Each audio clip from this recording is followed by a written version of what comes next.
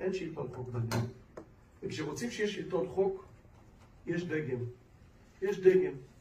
בזמנו היו אירועי תגי מחיר. אה, אה, כאן טוש, כאן גרפיטי, כאן לא מקל בהם ראש, כן, אבל עבירות קלות מה שנקרא. הקימו, גברתי היושבת-ראש, יחידה לפשיעה לאומנית. יחידה שלמה, שזה העיסוק שלה, שזה המדיניות שלה. וכשאתה מקים דבר כזה במחוז ש"י, וכשאתה מקים דבר כזה, התופעה נפסקת. אתם יודעים למה? משום ש... ודיברנו כאן על המניע הלאומני, זה ממש מעט. ממש מעט. כשמייחסים רק 19 כתבי אישום עם מניע לאומני על מאות אירועים לאומניים, זה כלום, גברתי מהפרקליטות, ואת צריכה להבין את זה. ואנחנו יודעים מה המשמעות של מניע לאומני, אנחנו משפטנים. מניע לאומני זה כפל עונש, זה מכפיל את העונש. היחס של בית משפט הוא יחס אחר.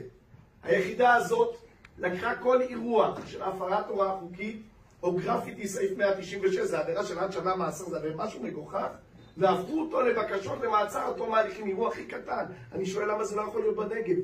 למה כל מי שמטריד מינית בחורה, ואני מקבל עשרות, כל חודש עשרות תלונות כאלה, כאן בחורה הולכת לקניון וכאן בחורה הולכת למכולת ומטרידים אותה מינית. למה כל מי שמטריד מינית לא עוצרים אותו ולא משחררים אותו אחרי חקירה, אלא מגישים כתב אישום? למה על כל שחרור של נער, אני אומר עוד פעם, אני הצגתי על על גרפיטי, עוצרים, בית משפט שחרר, עיכוב ביצוע, אוטומטית, כבר הוא מקבל עוד יומיים, הולכים למחוזי. מחוזי לשחרר, רוצים להגיש בקשת רשות ערעור לעליון. למה זה לא נעשה? אצלכם, ואני שוב אומר, אני יודע שאתם רוצים לעבוד, אני יודע שאתם עובדים, אבל אולי אתם לא עובדים בכיוון הנכון. וזה סיפור שערורייתי שאני גיליתי אותו. יש שופט אחד בבאר שבע. אתה לא אומר שמות. לא אומר שמות. שטענו, הבדואים, שהוא מחמיר את הענישה.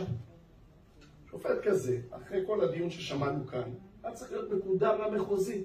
היה צריך להיות מקודם, היה צריך להגיד איזה יופי. סוף סוף יש שופט שמחמיר את הענישה. אתה יודע מה עשו לו? היום הורידו אותו לדיוני מעצר, הוא היה שופט פלילי. אמרו לו, מעכשיו אתה תשפוט רק בדיונים. סליחה שאני שואל, אבל למה לא להגיד שמות? לא, לא, כי היה...